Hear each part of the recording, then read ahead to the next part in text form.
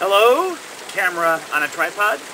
Today we're starting in Plumas County at a Darlingtonia site that uh, Beth and I found on a previous expedition.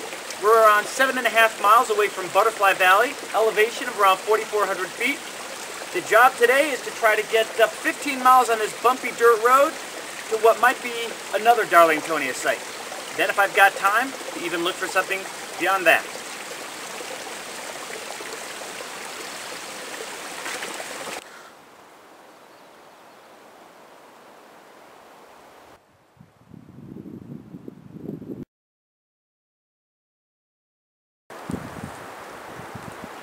Well, I've reached the site, at least the historical location for this site. Looks great, orchids, flowing water.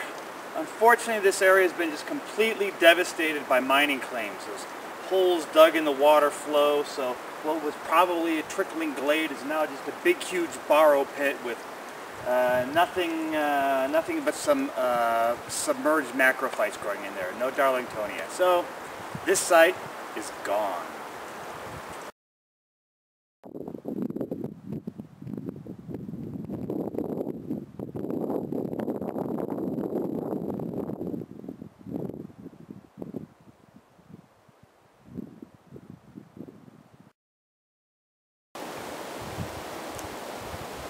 This has got to be the most god-awful depressing place I've seen in years. I guess this used to be Darlingtonia habitat, but unconstrained mining has turned this into a barren landscape of rock piles and gouges.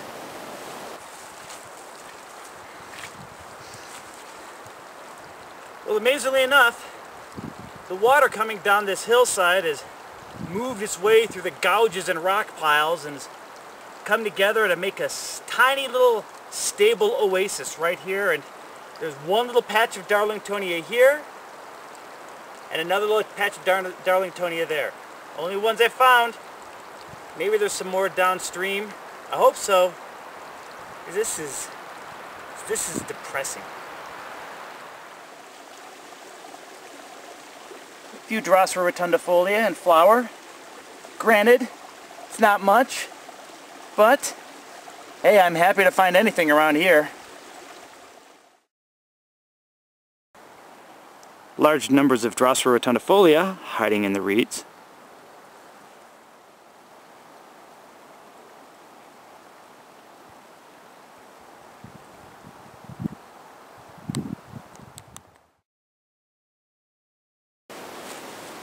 Well, I'm running about 45 minutes ahead of schedule, so in order to uh, wash the taste of that hydraulic mining site out of my mouth, figured I'd uh, descend this slope and see what I can find down there.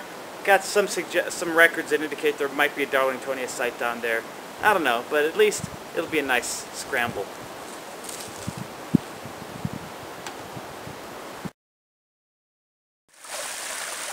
While this is an extremely pretty little stream cascading down these rocks, it's too uh, constricted and that means that in the spring the snowmelt waters are going to come screaming down this and scour out any weakly rooted plants and that means Darlingtonia. So I really don't think I'm going to find any Darlingtonia on this stream flow but I'm going to have to hike it back up because in that direction way uphill there is where my car is.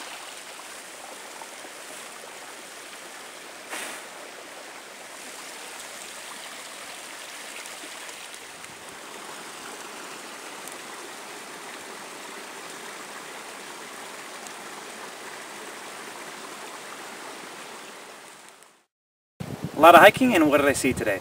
Well, I got to see what hydraulic mining it does to the landscape. I visited three Darlingtonia sites. First site looked like it had been ripped out and just turned into a bunch of ponds. Second site, three plants barely hanging on. There's some Drosera rotundifolia there, though. That was nice. And really, hey, a Darlingtonia site and Drosera rotundifolia site. That's not so bad, and not that bad at all. And then I looked at that stream.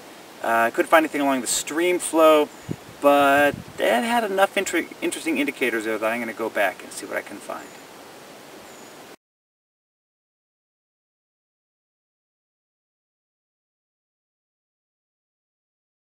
Newspaper, blotter paper, cardboard.